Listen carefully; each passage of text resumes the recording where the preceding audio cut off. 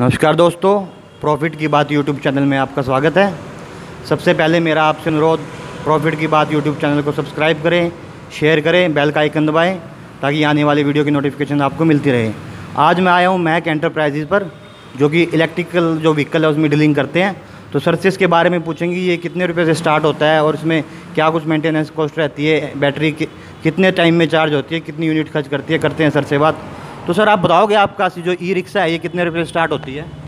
हमारी e rickshaw तकरीबन तकरीबन जो बेसिक मॉडल है फ़र्स्ट मॉडल एक लाख रुपए से स्टार्ट हो जाता है। जो बेसिक मॉडल है इनका एक लाख रुपये स्टार्ट हो जाता है। सर इसके ऊपर एक्स्ट्रा खर्चा कुछ रहता है क्या? एक्स्ट्रा इसकी आरसी बनती है बीमा होता है ड्राइवर बीमा होता है सवारी बीमा होता है। कितना खर्चा आ जाता है मैक्सिमम इसका आरसी वगैरह परमिट पासिंग और बीमा मिला करके हाँ हाँ। सोलह से सत्रह हज़ार रुपये का खर्चा आ जाता है।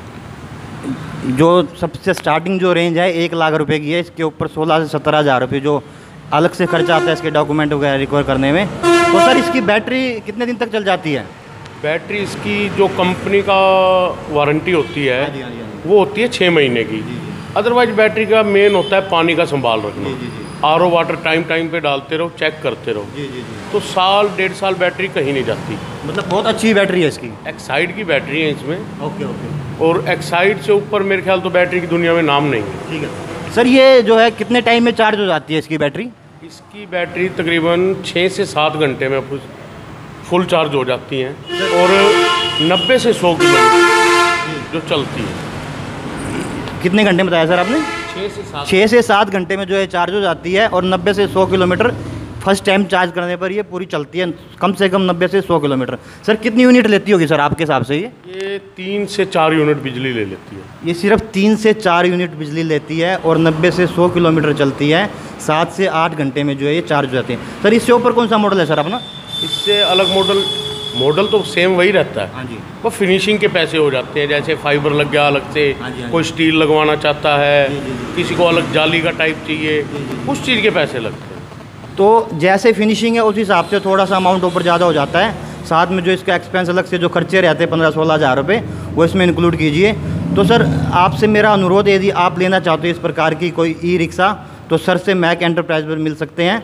एक लाख रुपये लगा करके आप मिनिमम बिज़नेस भी स्टार्ट कर सकते हैं। जैसे आपने पाँच ई रिक्शा ले ली और आप पाँचों की पाँच रेंट पर दे देते हो, मिनिमम तीन सौ रुपये अगर रेंट भी लेते हो और डेली का आपको, देखिए पंद्रह सौ रुपये डेली के बनेंगे तो पैंतालीस हज़ार रुपये महीना आप यहाँ से अर्न कर सकते हो।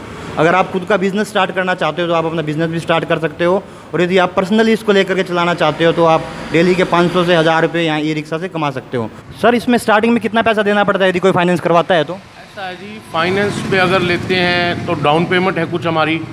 प्लस इसके जो कागज़ बनते हैं वो पेमेंट हमें पहले चाहिए क्यों? बिना कागज़ पूरे हुए फाइनेंस नहीं होता। तो स्टार्टिंग में आपको जो डॉक्यूमेंट की फ़ीस लगती है सोलह सत्रह हज़ार रुपये वो और बीस हज़ार रुपये जो आपको स्टार्टिंग में देने पड़ेंगे उसके बाद आपका जो टोटल अमाउंट फाइनेंस हो जाएगा। तो सर की किस्त किस हिसाब से होती है सर किस्तें इंडोसन लैंड से है बैंक है। उनकी ही होती हैं सत्रह महीनों की किस्तें होती हैं। सत्रह महीने की किस्त होती है और बहुत ही आसान तरीके से जो है आपको ये गाड़ी मिल जाएगी। अब मैं आपको दिखाऊँगा इसके जो मॉडल है, किस किस तरह के हैं। तो चलिए देखते हैं मॉडल ये देखिए, ये मॉडल सर ने हमको बताया है, एक लाख चार हज़ार रुपये का मॉडल है और इसमें थोड़ा फिनिशिंग का ही अलग से पैसा है। जैसे अभी ये दूसरा मॉडल आप देख रहे हैं, ये भी एक लाख चार हज़ार रुपये का ही है। इसमें थोड़ा सा उससे देखिए अलग फिनिशिंग है। उसमें कुछ अलग है, इसमें कुछ अलग है। ये भी एक लाख चार हज़ार रुपये का है। ये थोड़ा सा अलग बना है। डिज़ाइन के पैसे अलग से। अब ये देखिए, जो एक लाख रुपये का बेसिक मॉडल है, ये एक लाख रुपये का है, जो बेस मॉडल है। इसमें एक्स्ट्रा खर्चा रहेगा, जो सोलह सत्रह हज़ार रुपये आर का रहेगा। एक ये लोडिंग के लिए यदि आप लोडिंग चलाना चाहते हो, ये लोडिंग ई रिक्शा है। इसका भी वही एक लाख चार हज़ार रुपये खर्चा है। एक्स्ट्रा जो खर्चा रहेगा, पंद्रह सोलह हज़ार रुपये रहेगा। आप इसमें से कोई भी ई रिक्शा लेकर अपना बिज़नेस स्टार्ट कर सकते हैं। अगर आप चाहते हो इस प्रकार की कोई ई रिक्शा लेना तो यहाँ पर आए, मैं इनका जो डिस्क्रिप्शन में मोबाइल नंबर और इनका लोकेशन सब आपको पहुँचा दूँगा। आपने मेरा वीडियो देखा, इसके लिए आपका बहुत बहुत धन्यवाद। अगेन आपसे मेरा अनुरोध है, मेरा यूट्यूब चैनल प्रॉफिट की बात को सब्सक्राइब करें लाइक करें शेयर करें। धन्यवाद।